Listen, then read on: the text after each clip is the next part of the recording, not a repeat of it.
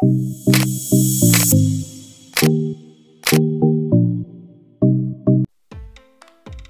tak sedap datang dari artis muda Tegar Septian. Baru dua tahun menikah kini curhat ternyata sudah cerai dari istrinya.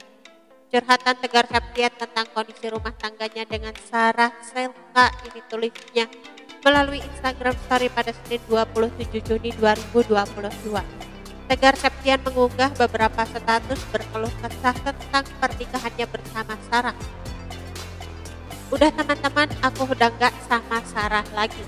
Aku udah terlalu capek dan aku janji gak mau terulang seperti ini lagi, tulis Tegar.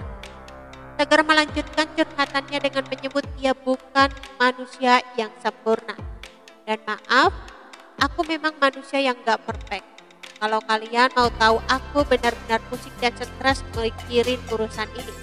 Dan ya memang, aku di Insta seperti romantis tapi sebaliknya Kalian gak tahu pusingnya aku kayak gimana sambungnya. Tegar lantas menegaskan sekali lagi bahwa ia sudah tidak bersama dengan Sarah.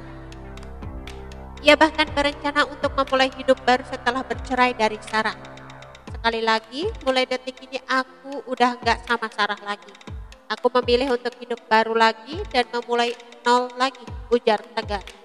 Dan kalian harus tahu aku selalu di rumah aja terus. Jujur aku orang yang gak betah di rumah, aku sampai kurus banyak pikiran. Uang aja susah, mau cari, di situlah aku benar-benar depresi, tutur Tegar. Tegar juga mengunggah video yang lagi-lagi menegaskan perceraiannya dengan Sarah. Tentang saja kabar ini menjadi sorotan. Penyanyi Tegar Septian sempat mencuri perhatian publik setelah memutuskan untuk menikah muda pada Maret 2020 lalu. Ia menikahi seorang gadis cantik bernama Sarah Sailka Kamilia alias Sarah Sailka.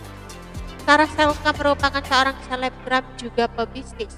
Sarah dan Tegar rupanya terpaut usia yang cukup jauh yakni 5 tahun. Sarah merupakan wanita asal Bandung kelahiran 1997. Saat dinikahi Tegar ia berusia 23 tahun. Pernikahan Sarah dan pelantun tembang Aku Bukan Yang Dulu Bukanlah Yang Sekarang itu cukup menghebohkan. Selain usia Tegar yang masih begitu muda, acara pernikahan mereka juga terkesan ter